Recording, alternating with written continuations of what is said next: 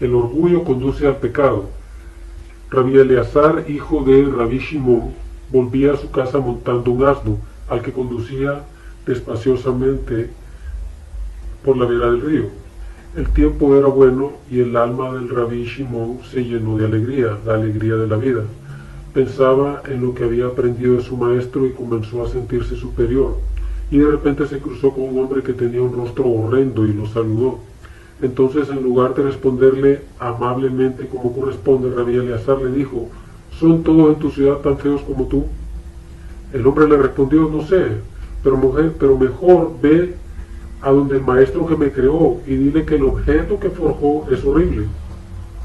Al escuchar estas palabras, Rabí Eleazar entendió que había cometido un pecado. Entonces se bajó del asno, cayó ante el hombre y le pidió que lo perdonara, pero éste se mantenía en lo suyo, que fuera al maestro que lo creó y le dijera lo feo del objeto que había forjado. Rabí Eleazar fue caminando detrás del hombre hasta que llegaron a la ciudad y todas las personas que lo encontraban lo saludaban diciendo, Shalom Alejem, Rabí. El hombre preguntó, ¿a quién ustedes le llaman Rabí?